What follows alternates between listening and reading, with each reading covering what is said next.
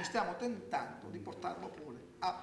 Il presidente della provincia Eugenio Dorsi ha ritirato questa mattina le deleghe ai 12 assessori che fanno parte della sua giunta. L'obiettivo, ha detto, rilanciare l'azione amministrativa.